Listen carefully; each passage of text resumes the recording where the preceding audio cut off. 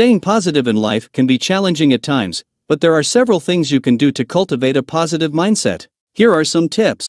Practice gratitude, take time each day to focus on the things you are thankful for.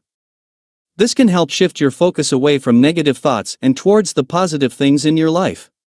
Surround yourself with positivity, spend time with people who uplift and inspire you, and avoid negative influences as much as possible. Focus on solutions, not problems, instead of dwelling on problems, focus on finding solutions. This can help you feel more empowered and in control of your life. Engage in self care, taking care of yourself physically, mentally, and emotionally can help you feel more positive overall.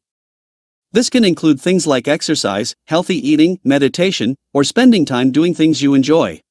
Set goals and work towards them. Having goals to work towards can give you a sense of purpose and direction in life.